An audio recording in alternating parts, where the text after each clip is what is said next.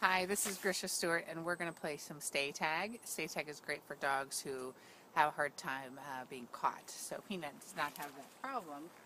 Yes, good boy. Um, and you can do this with some treats. That's great. It's not stay tag, but it's a good warm up. Yes, practicing grabbing. For a dog is really nervous about it, you can just sort of reach toward. Yes, and give treats for that. Um, but stay tag is a good advanced technique, especially for dogs who have got the foundations of stay. Um, all right, so let's play. So I'm going to do it without treats most of the time, but we'll be using some treats. So again, I'm Grisha from Ahimsa Dog Training in Seattle. It's DoggieZen.com. Stay. Good boy. Okay. Good boy.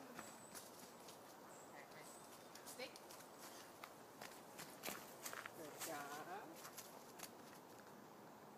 Good. Good. Okay.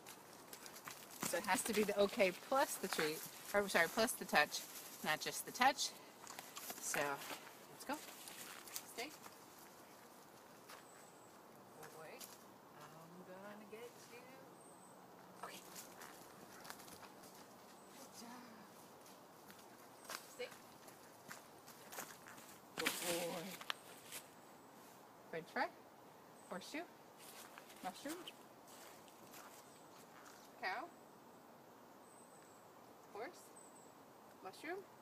Okay. Good job. Excellent.